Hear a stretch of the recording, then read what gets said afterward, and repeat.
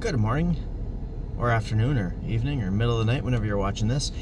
Uh, but uh, today I want to talk a little bit about um, encouraging ourselves and not discouraging ourselves is actually even more important from you know my experience. So I was at a conference just the past week. Uh, um, Archangel Giovanni Marsico. Um, great, great conference. Uh, a lot of diverse, diverse background of people, business-wise. Uh, some different countries people come from for that. Um, and I got to talk to Jim Kwik, the boy with the broken brain. If any of you have seen or read or great stuff, memory um, basis, uh, brain strength, etc., etc. Uh, I got to talk to him. It was so cool. Who gets to talk to this guy? Um, so me apparently. Um, one of the things he said is, if you fight for your limitations, guess what? You get to keep them. What that means is if you constantly talk about how bad you are at something or how crappy you feel or how crappy your day is or you know how you're this sucks and that sucks and everything's going to suck and everything's going to be crappy and everything's going to be bad. And I'm preaching here from a position of somebody who does that all the time.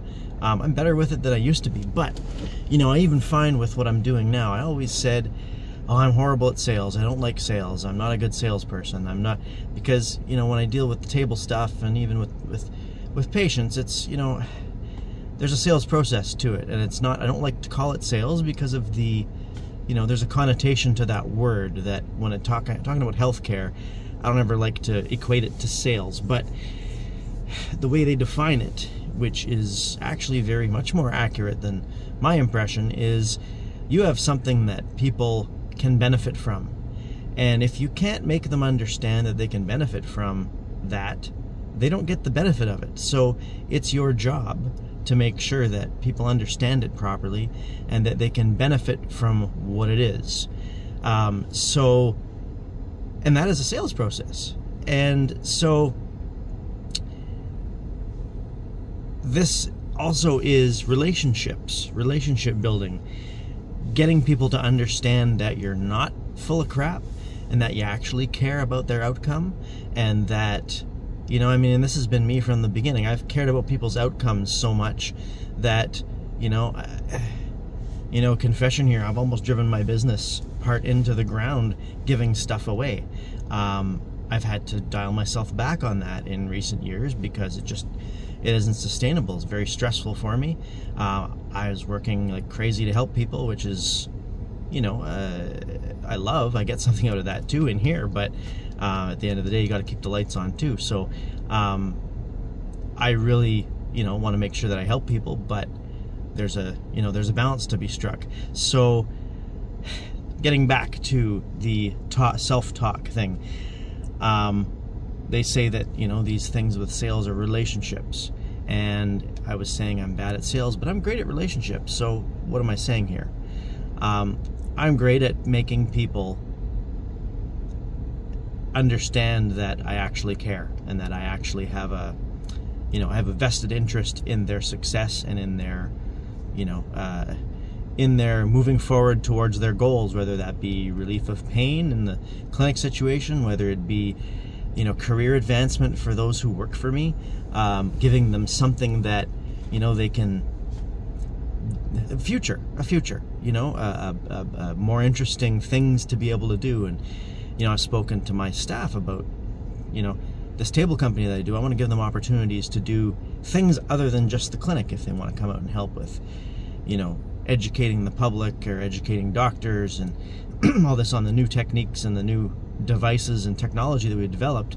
That could be a cool uh, career path that not many people get the chance to do because if you're working in a clinic, that's that's your end. You know, uh, even as a you know chiropractor, um, you know, there's lots of things I can do in my practice, but there's you know the device end of things opens up a whole exciting new world for me because I can help millions of people with what I do through the doctors that work with me.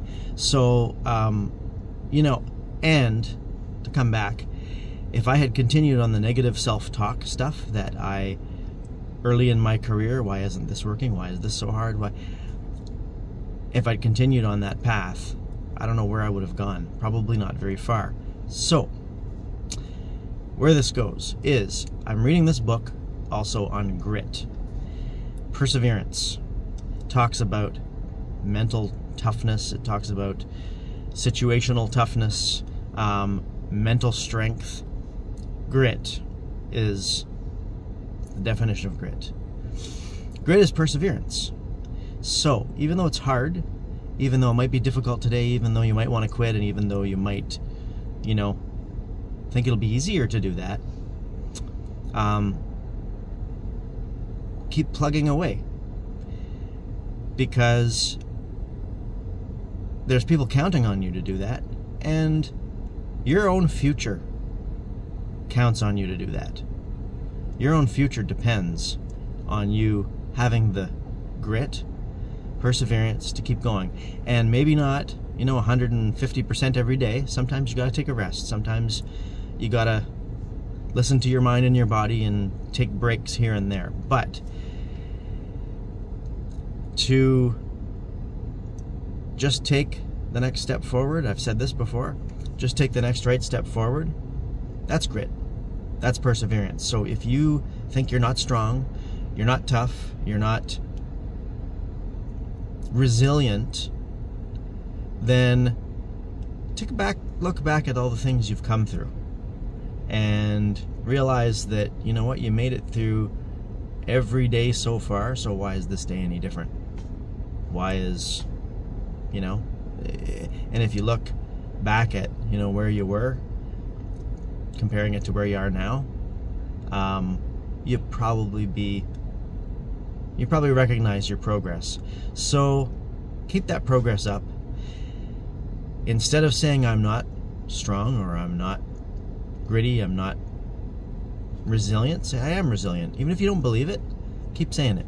Keep repeating it um, in the morning when I wake up, I have "Don't worry, be happy" as my alarm tone. That's that. For that reason, for the reason, the reason for that is, um, then I say "Don't worry, be happy." It rings through my head for the first five to ten minutes I'm awake. That means hopefully I'll be more happy and I won't worry. Mental repetition. Brain's a very powerful thing. Use it positively, don't use it negatively. Thanks for watching. Hope this helps you. And uh, talk to you again soon.